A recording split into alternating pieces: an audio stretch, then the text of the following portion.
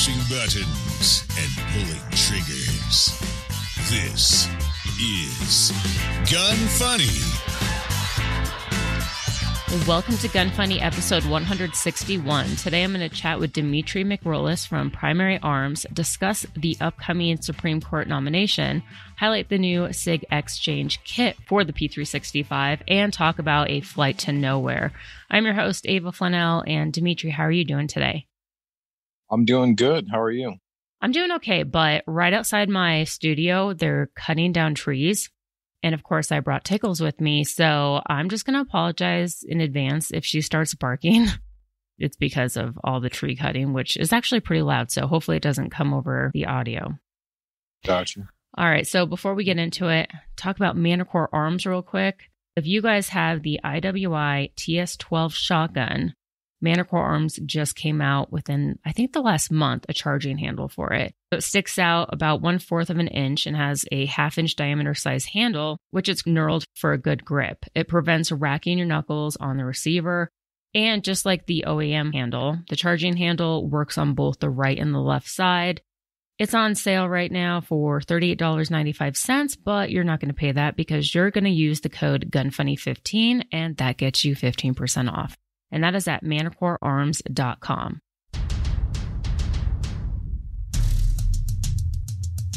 Learn the things you never knew on Deconstructing the Industry.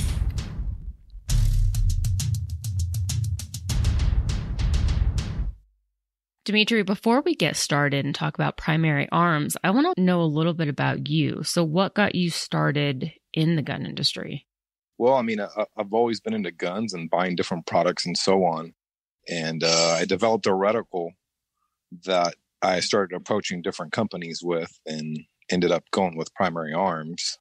So that's that's kind of how I got into the industry and got started with everything. I met with uh, Marshall, our CEO over at Primary Arms, and uh, you know we decided to move forward on the ACSS line of, of reticles. Wow, that's interesting. So, what was the whole reasoning for designing this specific reticle? Uh, it was more to meet my needs. I, I didn't. I felt like uh, there was nothing really out there that met my needs. A lot of the bullet drop compensators were way off.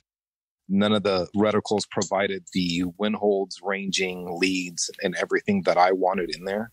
Um, also, there was a, a big operational study done with the Marine Corps and the Army where I, I interviewed a lot of guys and, and started to piece together exactly what they needed as far as the shots made. Um, following uh, several sniper competitions, we found out that the number one reason shots were missed further out was improper range estimation. Uh, the second reason was wind. So those two uh, uh components had to be incorporated into the reticle. So the attributes of the ACSS are designed to increase hit ratio in those conditions. So nice. it, it was more of just solving the issues that, you know, combative type shooters have.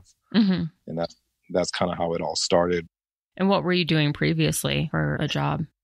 Uh, well, I used to be really into uh, mixed martial arts. Mm-hmm. I started uh, back in the early 90s um, when uh, Gracie Jiu Jitsu had become very popular and got into kickboxing and wrestling and Muay Thai and all that stuff and, and kind of blending that together. So I had a couple of schools. Uh, they weren't very successful back then because it wasn't as popular as it is now. So I, I owned a, a, a, marketing company and got into marketing for a while. I owned a couple restaurants, that kind of thing. But mainly martial arts was kind of my, you know, my passion. And, and that kind of transitioned over into the gun world, into the reticles as well. Mm-hmm. You yeah. know, the philosophy of keep what works and just get rid of the rest. Yeah. It doesn't, you know, trim the fat. Yeah, so. definitely. There is reportedly a story of you as a kid with a pellet gun and a bird. Oh, God. Can you elaborate yeah. on that?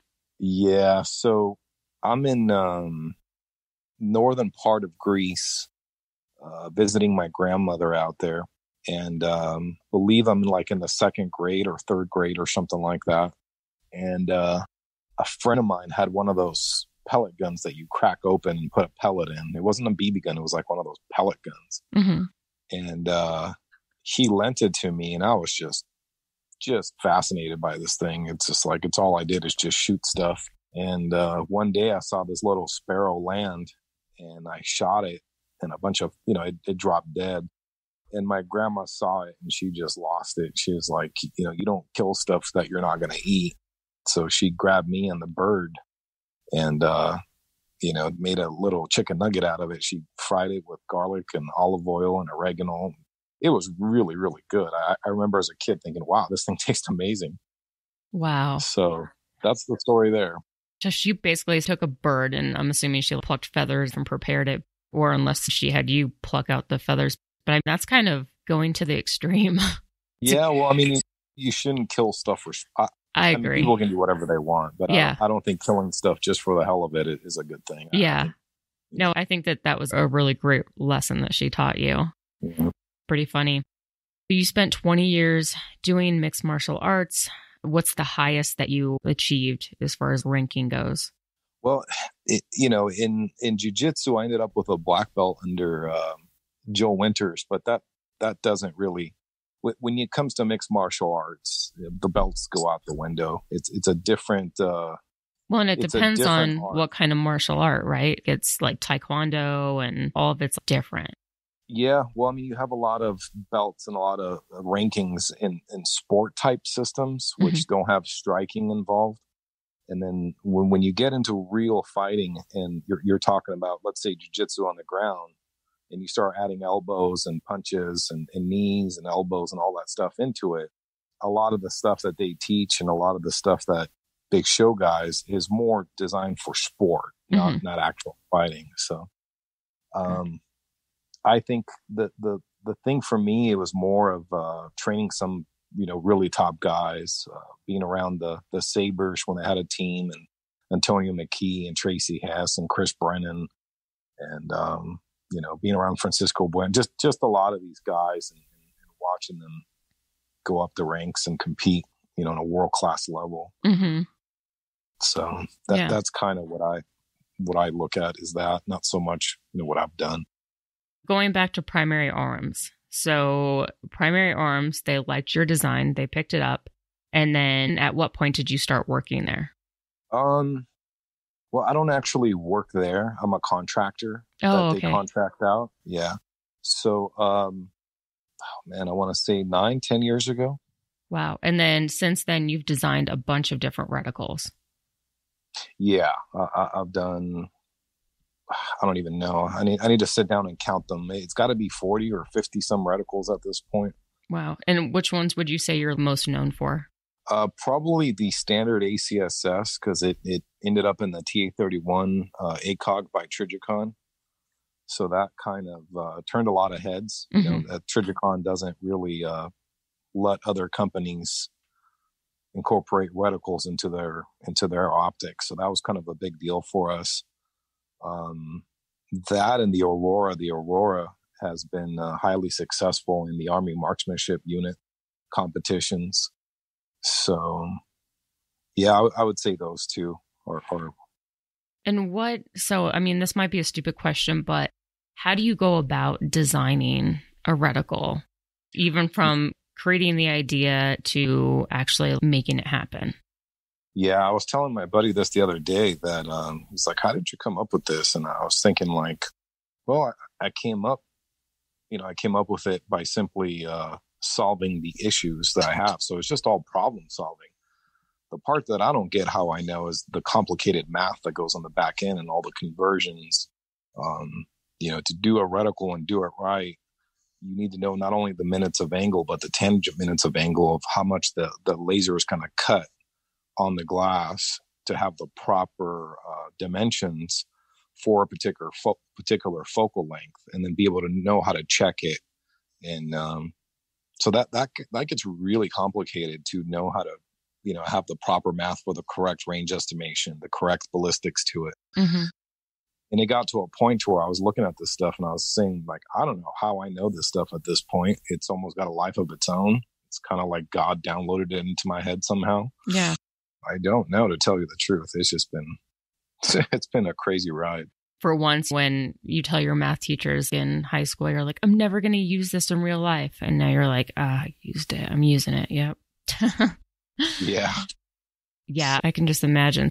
Okay, so you design the reticle and then do you make, I'm guessing, a prototype? Right. So the process is, is I designed the uh, the reticle. We use SolidWorks, so um, it's like an AutoCAD uh, file that gets sent out to the factories. Mm-hmm. They create a prototype that we get back. Well, actually, they create their file, their version of it, um, and then we double check their numbers, and then we get their prototype back.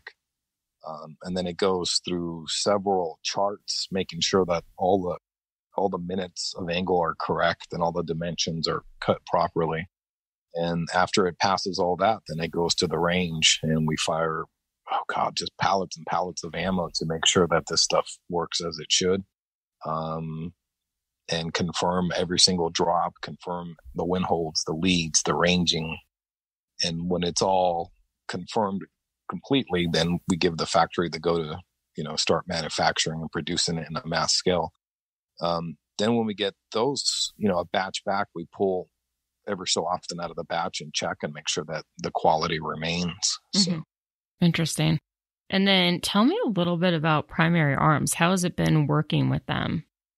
Uh, it's been interesting. You know, it's, it, we've been together for a while now, and um, what's funny is it it all kind of started uh, as a as a dare.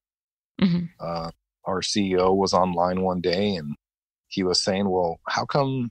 You know, because back then it was you either had these like little cheap red dots that you fire a hundred rounds, and all of a sudden they're losing zero, and you're trying to Yeah. figure out what the hell happened um, or you had these like 600 800 dollar you know military grade optics. There was nothing in between. And um, and he said well how come there's nothing in between? And, and some guy on there was being a smartass and said well why don't you make something? So him and his uh, brother joe you know started uh, putting together the a, a mid-level type red dot. And that's kind of how primary arms started was off a, a red dot and um, it went from this little gun shop to it you know it's grown into this huge operation now i mean it's a huge warehouse with multiple buildings and directors and you know different uh branches and so on so Mhm. it, it's it's it's grew a lot so it's been interesting to watch it grow like that Yeah, no kidding. Because I just remember when you hear Primary Arms, you always just think optics, but they at this point sell, and I would say like every kind of gun part, other optics, first aid kits, and it's kind of becoming the one stop shop. Right. yeah we carry pretty much everything All right, I'm going to take a quick break, real quick, talk about SB Tactical.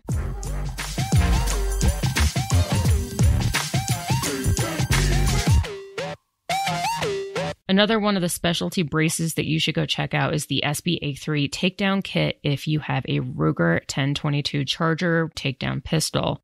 And I just actually used one of these the other day. It wasn't mine, but somebody on the range asked me if I wanted to shoot their gun. And I obviously am never going to say no to that. So I have a little bit of experience with it and it was really cool. It basically turns the charger pistol into a micro 1022 carbine that takes down to a very small package. It comes with the ultra popular SBA3 adjustable brace. It's designed to fit up to 0.920 barrels. It includes the complete polymer chassis to replace the OEM chassis of the takedown charger, and the entire kit, including the brace buffer tube and chassis, are only $199.99. But don't forget to use the code GUNFUNNY15. That gets you 15% off that price, and that is at sb-tactical.com. Primary Arms, they do have a storefront in Texas, correct? yeah hmm Have you ever been there? i haven't From what you heard, is it fairly large? yeah there's actually a video on it online if you go to like uh kodo boy 32 Uh-huh. he came and visited the uh, storefront and the warehouse and so on. Yeah, unfortunately, I'm on the West Coast, so I, I you know, see everybody mainly during Shot Show. hmm And have you heard anything about how COVID and everything like that has affected them? Yeah, I mean, uh, in the beginning, we didn't know if they're going to close us down or what was going to happen, and then, you know, it got to a point to where you had to make an appointment to come to the storefront and that kind of thing, and so it, it you know, it, it affected the storefront a lot. Um, not so much the warehouse. I mean, the COVID's brought business up. I don't know if it's like three, five hundred percent. Yeah. It's just been insane. You know, it's just the whole industry is buzzing right now. Yeah, I know. It really is crazy. I think if you're in the gun industry, regardless of what you're selling or doing, business has increased and it's just out of control. I know that a lot of stores are kind of struggling to keep things in stock. And then people, once guns were kind of limited, then people were like, okay, well, I'm just going to build my own. And then parts became limited. But it's weird. Whenever I buy a gun, and I think maybe I should change this and I should get more into optics, but whenever I build or buy a gun, the optics usually the last thing I think about, Hmm. which is kind of Yes, dumb. Yeah, yeah, I do it the other way around. It's like the optic first, and Yeah. I build around it. well, especially if you're shooting long distance, then it definitely matters. But if it's just a few hundred yards, I don't know. I guess I'm not as picky. I shot at a mile, which is the farthest that I've shot. And at that point, optics make all the difference. It's extremely important. But yeah, I need to change that up a little bit. Yeah, that's a different zip code at that point. So, hmm Well, I mean, we we make different optics for different applications of fire. So if you're only shooting 200 yards, you know, where we got like single red dots. Yeah. have, uh, our one by six Kiss reticle, which is like a chevron. It's an LPVO one by six, and the cool thing with that is that it's etched. So if the battery dies, it doesn't matter. You're still going to have a, a bold reticle to use. Oh, nice. Yeah, that's definitely convenient. I talked to you a little bit yesterday, and you mentioned that you have lead poisoning.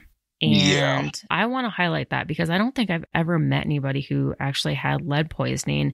And the way that you got it is interesting. I know that the indoor range that I use, all the employees have to get tested once a month for lead poisoning because they're just cleaning up the range and stuff like that. But can you just explain how you got it?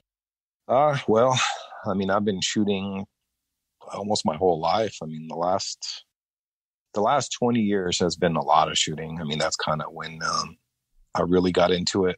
It uh, mainly, you know, any, anytime you shoot, there's a vapor of lead that just blows all around you and you end up inhaling a lot of the stuff. It ends up on your face, on your shirt. So I have a, a huge round count. I mean, it's got to be at least a mil. I mean, it's it's a lot of shooting, a lot of hand loading.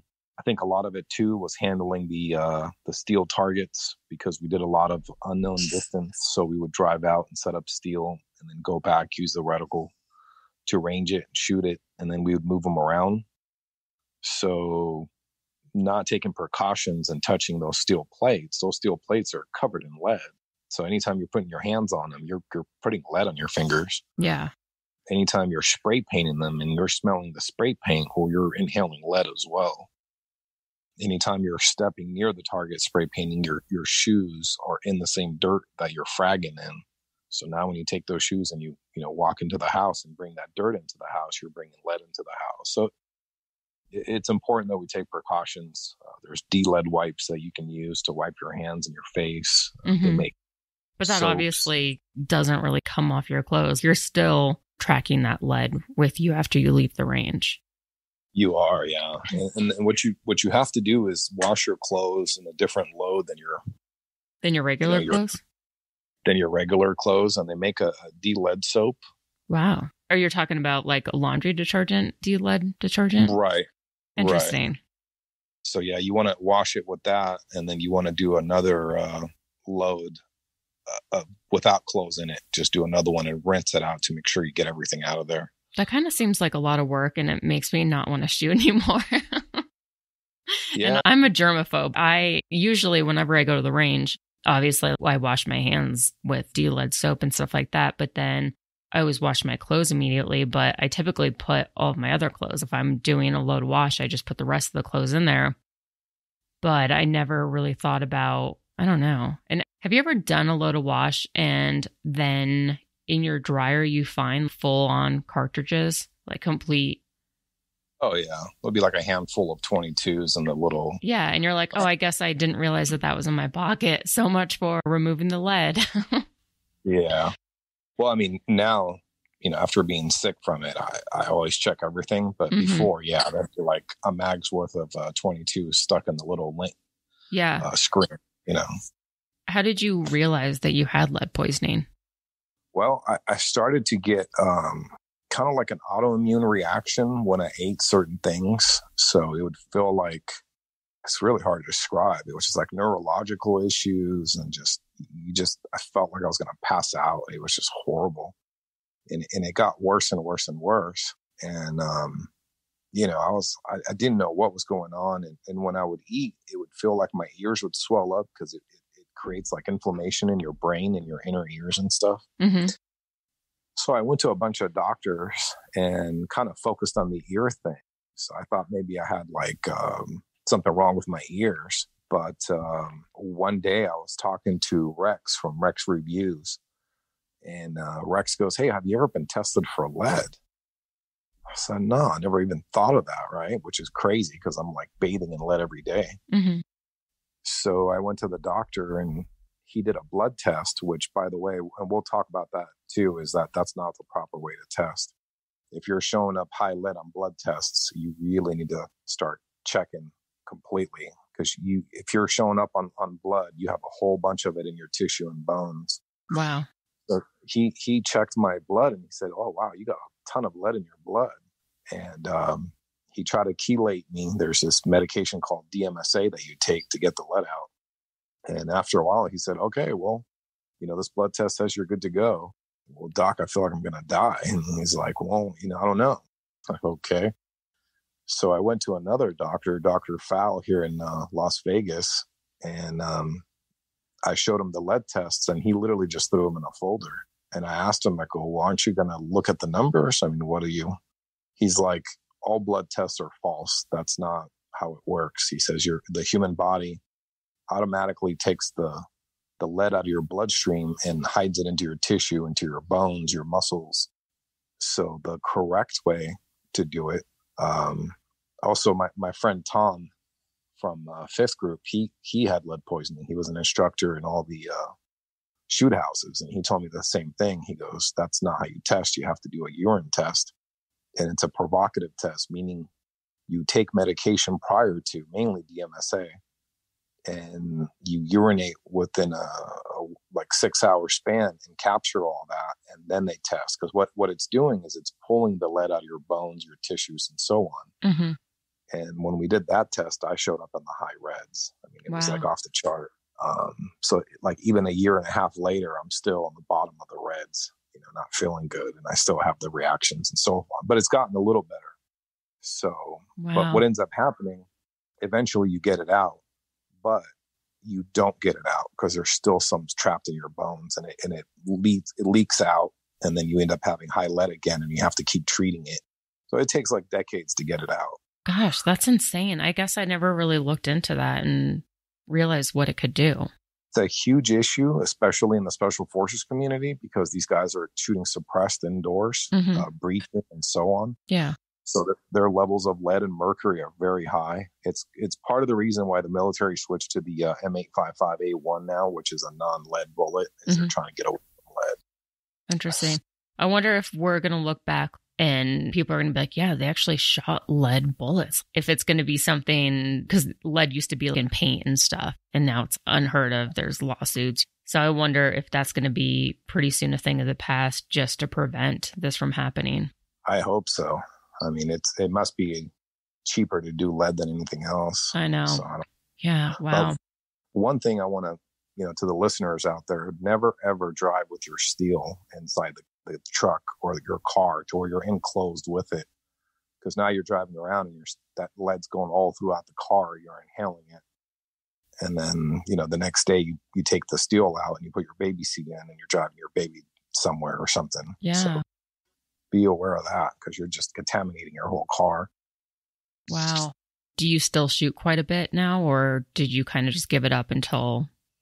I shoot um, not anywhere near as much as I used to. So I do a lot of spotting, and my friends do the shooting. So I'm, I'm mainly capturing the data to make sure our stuff's still working. Mm-hmm.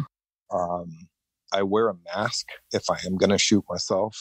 So um, that and I take full on, like I shoot as soon as I'm done shooting, I take the lead wipes, wipe my whole face, hands down, take off my shirt, put a different shirt on, drive home, you know, wow. separate all that laundry. Yeah, I'm, I'm real cautious with it. Yeah. I highly recommend that everybody gets tested for lead a proper way. It's not that much. It's like 300 bucks or something to get it, to get tested. That and uh, something as simple as like taking cilantro oil. Cilantro is a chelating agent. It, it detoxes you from lead. So Hmm. if you get a bunch of cilantro and grind it all up with some garlic and you know make a paste out of it that you put on a piece of bread or a cracker and you eat it a couple times a week, it, it will go a long way of helping you detox. Nice. Well, I'm in luck because I'm actually growing cilantro right now. So I'm already on on the correct road. Yeah. Well, thanks for sharing that with us because that is something that I think a lot of shooters overlook, and I definitely overlooked it. I just thought that as long as I wash my hands, don't touch my face, and change my clothes and wash them when I get home, I'm in the clear. But that's interesting. All right, moving forward, do you have any plans that you can share with listeners, like any future products or news or anything like that? Um, well, as far as the future products, I I can't really talk about all the stuff, but I can talk about some of the stuff that we've leaked out. Okay. Um, there's a, a pistol sight that we're doing.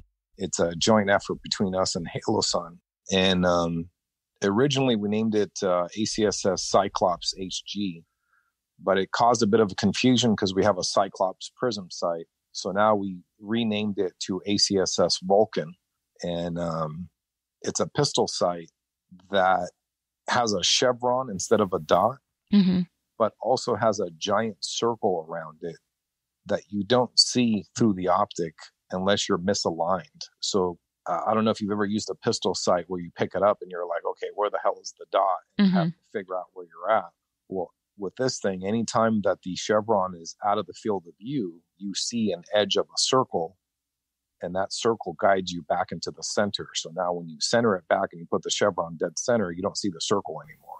So it acts like a guide to help you center, Hmm. um, especially under like nods when you're, uh, you know, under night vision, you Yeah. can't really see your hands, your irons and stuff.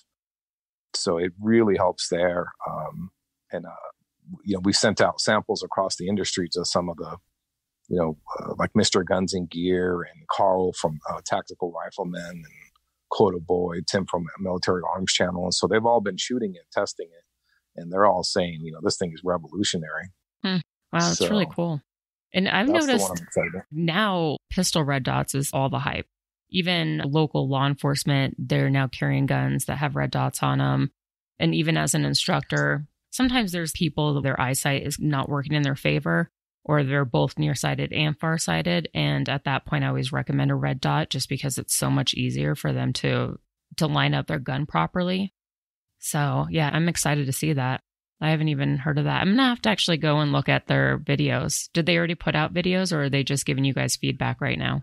Um, so their videos were put on hold because um, Trijicon ended up suing Holosun Oh, because of the uh, um, one of the the button placements on the sight and so on. So that kind of affected us because we couldn't release it. So now uh, Holosun is redesigning it and putting the buttons in a different location and so on. Wow. But we told the guys, hey, you know, have fun with it, but please don't put it out in its current configuration because that's not how it's going to retail. So, Mhm. Interesting. But I'll send you a, a video that you know we did internally, and you can kind of see how the thing works. Okay, great. So, All right. Well, if you guys want to check out Primary Arms, you can do so at primaryarms.com. And now moving forward, IWI. Well, if you've been wanting to get out and do something fun, which let's face it, most of us do, and you're also looking to up your training, IWI is hosting classes near Eagle Lake and Crescent, Texas, and they're the Tavor carbine classes, which I was told even if you don't have a carbine, they will supply one. Don't quote me on that, but that's what I've heard. And they have these classes coming up end of October, early November.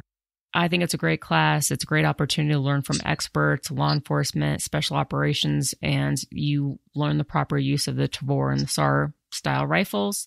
So you can check that out at their website, which is iwi.us. And don't forget, if you guys find any accessories that you like, you can use the code GUNFUNNY15 and that gets you 15% off. Okay, so as far as the political AF segment, I am actually going to record that later on during this week because I think that at this point they're going to have some nominees for the Supreme Court. So I will discuss that later on. Politics. What is going on in the world today? It's political AF. Here we are one day later after President Trump nominates Amy Coney Barrett to the Supreme Court. And I wanted to wait to see who he was going to nominate before putting out this show. Otherwise, that information would be outdated. So, here helping me today is Jon Snow. He is king of the Patreons and a fellow Patreon, obviously. And we're just going to talk about it. So, John, do you want to start? Sure. So, Amy Coney Barrett, she became a favorite of a lot of people for a potential Supreme Court pick back in 2017 when mm. she was elevated to the Seventh Circuit Court. And at that point, basically, she caught the attention of the president and she was named as a potential successor back when Kavanaugh was nominated. But rumor was Trump wanted to keep her as a potential Ginsburg replacement because she has such a good record. And she was a professor at Notre Dame. She's a mother of seven. Two yeah, of the kids are adopted. I read that. I was like, oh my God, how could she even? I mean, just being a mom of one, I think is, you know, quite the, yeah, yeah, quite the responsibility. And she's, and she's only 48. wow. so she's been quite successful in law. She's known as being a pretty strong constitutionalist, mm-hmm. which is potentially pretty good for the Second Amendment. Absolutely. Um, how she will actually vote on some of the critical Second Amendment issues, we kind of don't really know yet. One of the things she has been on record for was in the Seventh Circuit, she had a dissenting opinion that she wrote where the decision of her Seventh Circuit court did not rule in her favor, but her dissenting opinion was that nonviolent felonies like mail fraud should not take away your gun rights, mm-hmm. essentially. Mm-hmm. Yeah. Because strictly according to constitutional law, it was very common for felons in those days that were not violent to not have their rights like voting rights or gun rights stripped from them. Mm-hmm. And so that interpretation was a very strong dissenting opinion that she wrote in that case. And that does potentially show us that she has some good Second Amendment potential. Yeah. Uh, like I said, we kind of don't really know at this point yet. Yeah. It will be interesting to see. One concerning thing, she has made some statements in the past indicating support for if somebody seems like they might be dangerous, that their gun rights could be taken away, which so red might, flag laws. Yeah, exactly. Yeah. I would expect she will probably rule in favor of red flag laws. I have the same suspicion on Kavanaugh and some of the others. So I think, unfortunately, the deck is stacked against us on that. She's obviously going to be way better than anybody that Biden or Harris would nominate. Mm-hmm. Let's face it, if Biden gets in, it's Harris. Yeah. She's already said it's a Harris administration. Mm-hmm, exactly. And I know there was a lot of people that were upset that Trump, you know, that he nominated somebody right before elections which yeah. he's still president. He still has a job to do. Yeah, and that gets us into a lot of the history of Supreme Court nominations before an election. This is not at all uncommon. It's come up 29 times in our history. So 29 different occasions. And of those, 10 of those cases, the presidency was held by one party and the Senate was held by another.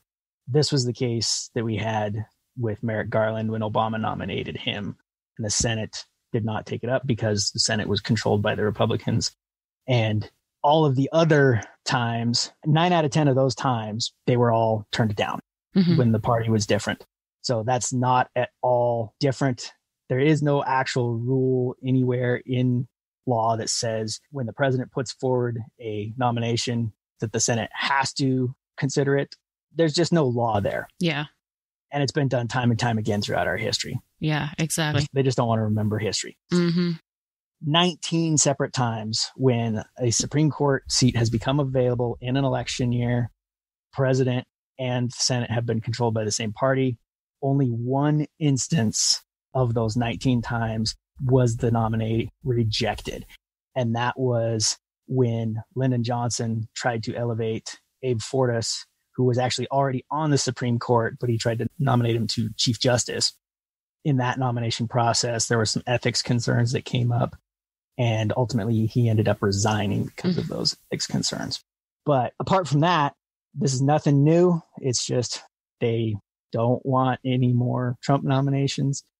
And so we've seen some truly disgusting things come out of some of the prominent liberals on the left, threatening violence and riots. Oh, I know. It's insane. It's like that's the new temper tantrum. If things don't go their way. Okay, let's riot.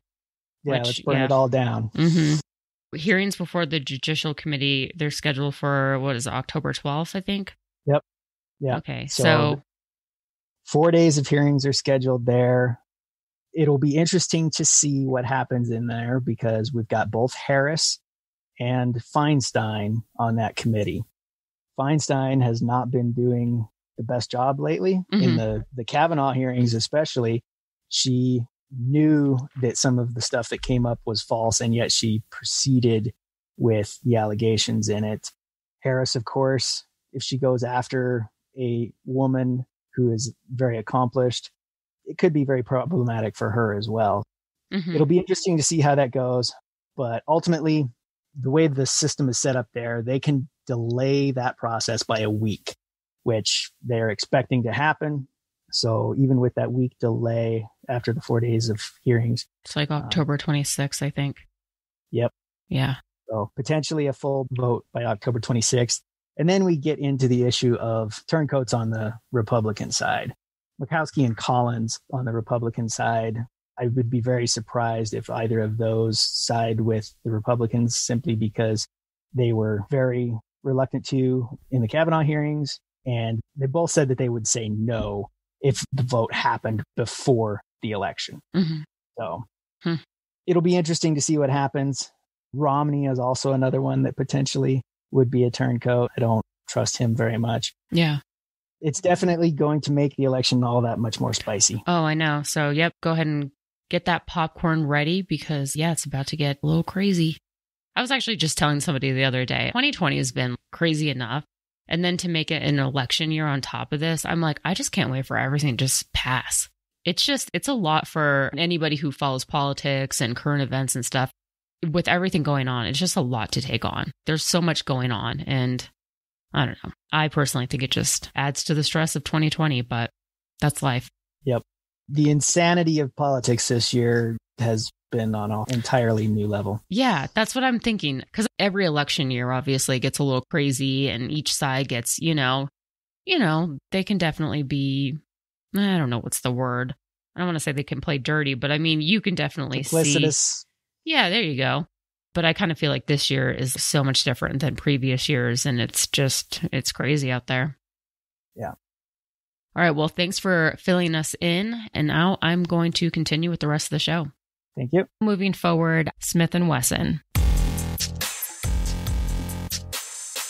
If you haven't already done so, you should go check out the Smith and Wesson's line of M&P 15s. They have a ton of different versions, including the Sport 2 version with the Magpul MOE M-Lock carbine handguard. It's a great quality AR and it comes standard with A2 flash hider railed gas block, bunch of other stuff, and its MSRP is 794, which is pretty affordable because figure you're probably not going to pay that MSRP. But you can check out all of the descriptions and what it comes with and all of the rest of their guns at smith-wesson.com. All right, Q&A. Q&A. There's no such thing as a stupid question. Just kidding. Visit gunfunny.com forward slash contact to submit yours. Today's question is How easy is the Shield 380 Easy compared to the Shield 9mm Easy? I keep thinking about the 9, but wonder if the 380 might be better for my mom who has trouble with grip strength and recoil.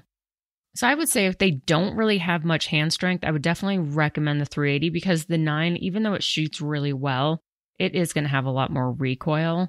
I personally, I like both. I have both, but I would say even when I teach my classes, if it's a beginner or somebody who just doesn't seem to, have that hand strength as much, I typically will give them the 380 to use. And honestly, guys, don't forget that 380 and 9 millimeter, they have the exact same size diameter bullet.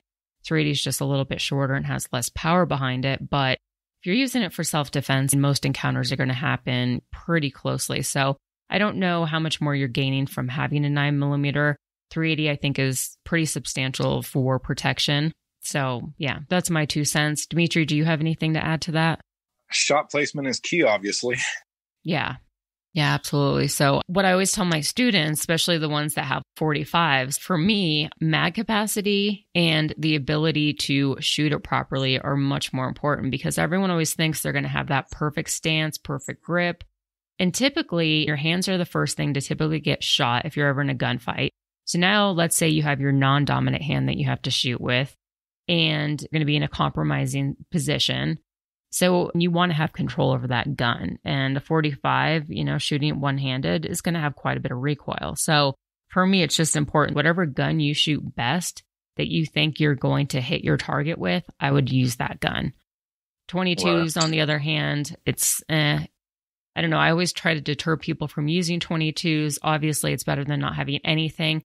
The only reason why I don't like that is just because 22s are just notorious for misfires.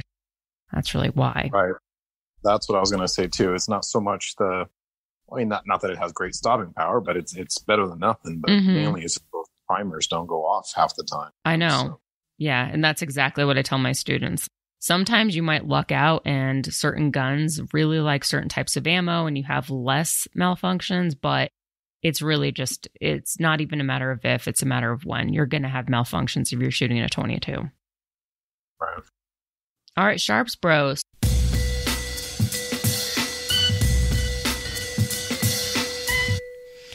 if you guys are wanting to build a great looking pcc you should go check out the jack lower you're able to chamber it in 9mm 40 smith & wesson 357 sig it's been updated with the second generation styling, which has more material milled out of the receiver, giving it kind of like a more refined look and it reduces weight. If you want to check that out, head on over to sharpsbros.com. Tacti Talk, discussing popular guns and gear. Love it? Hate it? Find out now. SIG just released the new X-Change kit for the P365. So when SIG launched their P365, after that, they released a lot of different other models, including the P365 XL. And one of the first questions that came up was if you can switch out the slides. And everyone soon learned that you can. And then the next question became well, what if they want to convert their original P365 so SIG kind of just solved that problem. They just released a kit with everything except for the fire control group for the P365 XL. The only downside is it's $500. So I would say for another $100, you can pretty much buy a brand new gun. You could buy the XL. but it is in stock right now on their website. And the real beauty of the design is that SIG followed the same modular drop in ideas as the P320. So companies are already doing a lot of custom grip modules for that. Laser stippling packages, custom slides, and Cerakote packages. The P365 is definitely starting to become the new Gucci gun. First it was Glock, then people kind of started to venture over to the P320, but the P365 is kind of making its way. So I don't know. I like that they came out with that, that you can just buy it. I think next they should release the P365 fire control group like they did the 320 so that you can buy all these other parts. And then the fire control group is obviously the serialized section and you could just drop that in. So I'm imagining that we're going to see that with the P365, but $500, that just seems a little much, especially when it doesn't include the fire control group. Obviously, you're just like, okay, well, I'll just buy this gun instead. That's what I would do. So I think they need to come down a little bit on that price. But other than that, I'm excited for that product and kind of look forward to seeing it in person.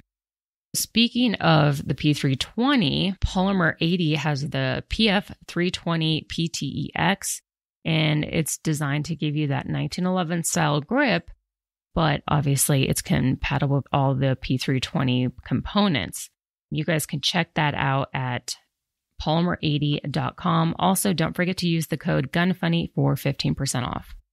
All right, now time for the AF segment. Stupid, funny, cool, interesting, awesome, as. F- Never mind. AF. Recently, Australian airline Qantas announced that they are doing a seven hour scenic flight to nowhere, which will take off and land at the same airport, which is in Sydney, I believe. It takes off October 10th and they return the same day. Basically, the tickets for this sold out within minutes. There was 134 seats available. Prices ranged from $575 to $2,765. And at first, when I read this, I was like, who the hell wants to stay on a plane for seven hours and who would pay for this? And you're not going anywhere. Typically, I don't really travel that much abroad just because I always dread the flight which I mean, if you've been to Greece and stuff, so you probably understand long flights, they suck, right? Oh, yeah. So, Suck is an understatement. yeah, I know, right? Typically, I'm just like, give me an Ambien, wake me up when we get there. But this flight is actually, it's not going as high up. So it's traveling fairly low so that it's very scenic. And you can see views over places like the Great Barrier Reef, so when they put it in that perspective, then I guess it sounds kind of cool, even though I still think seven hours is sort of long. And they're going to be traveling in the Boeing 787, which is normally used for long distance international travel. And yeah, I think Asia try to do something similar because I think people want to fly and they want to get out and about, but there's a lot of restrictions with the borders. So they pretty much have to travel within their country. And now it's time for iTunes review. So, guys, if you haven't left an iTunes review, please do so. It just helps me out a lot. And you have the opportunity to win a cool prize. First review is Valet Manager. Love the content, five stars, 1010 would recommend. The content is great, and so far, all of the guests really add a lot of value, insight into the gun world and current events. Keep up the great work, and I hope you have some insight into the incident with Kyle Rittenhouse. Keep up the great job. I thought I talked about Kyle Rittenhouse. Maybe I didn't. Second is Monster Man 03. Yes. Five stars. Your show is awesome. Love the gun knowledge and the dry humor. Literally get looks when I bust out laughing at some of the comments you make. And I'm glad that most of the guests you have on I actually know. But, anyways, thanks for the content and keep up the awesome work. Oh, and stay strapped or get clapped. All right. So, Dimitri, I want you to pick one of those two reviewers to win a prize pack. So would you say the first or the second? Let's go with the first. All right, Valet Manager, contact me and I'm going to send you out a prize pack. And now it's time to wrap up. So, guys, you can find me at gunfunny.com. There's links to everything. If you want to support the show, you enjoy it, consider becoming a Patreon. You could do so at patreon.com forward slash gunfunny. Lone Deadline gives away a $300 gift certificate to a lucky Patreon each month. And I want to thank the $25 patrons, and that is Corbin Bonafide, Iraq Veteran 8888, Ryan Morrison, Elliot and Mike Pappas, Joe Lyons, Justin Paulson, Jason Anderson, Joshua Hamp, Sportsman's Guide, Daniel Treadwell, Star Wars 77, and Ralph Anthony. Man, that list is definitely growing. King of the Patreon is still Jon Snow. He wants me to say fear of spiders is called arachnophobia. Fear of tight spaces is called claustrophobia, and fear of operator tickles is just plain common sense. and Dimitri, I just wanted to thank you once again. Is there a way that if anybody has questions for you, they're able to contact you, or should they just contact Primary Arms? Um, they can reach out to me on um, social media. I'm on our Instagram a lot, which is uh, Primary Arms. Okay uh, it will be a yellow tab under Primary Arms Optics, but Primary Arms is the the username. Uh, they can email me Dimitri at primaryarms.com. Um, and if they reach out to, two Primary Arms, like, they'll probably forward whatever mm-hmm. question that's directed to me. Okay, cool. Awesome. Well, thank you again for spending the afternoon with me. And on that note, we are out of here. Thanks for having me.